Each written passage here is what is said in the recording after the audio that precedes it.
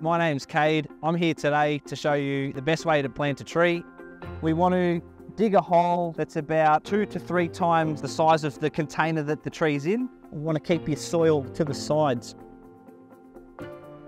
Now we want to check that the hole is deep enough. We don't want it too deep, so it needs to be pretty level. Loosen up the bottom here, like this, and break up those roots. And then we put the tree in the hole.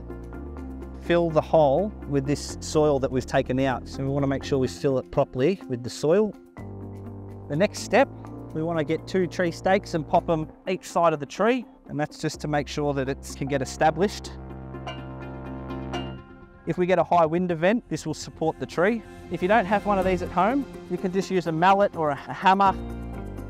We've got a water well here. Uh, it's not absolutely necessary, but um, it provides the tree with water. Now we'll use some tie here to support the tree to the stakes.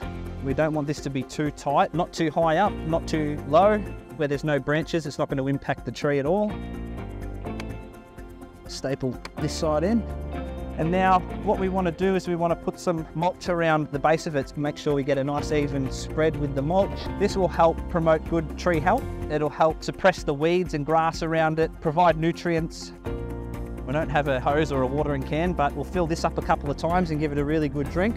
You can see how the water well will keep the water in and really let it uh, penetrate the soil. We'll keep watering it, we'll keep monitoring it. That's how you plant a tree in Melbourne's West. It only takes one person to plant a tree. It's as easy as one, two, tree.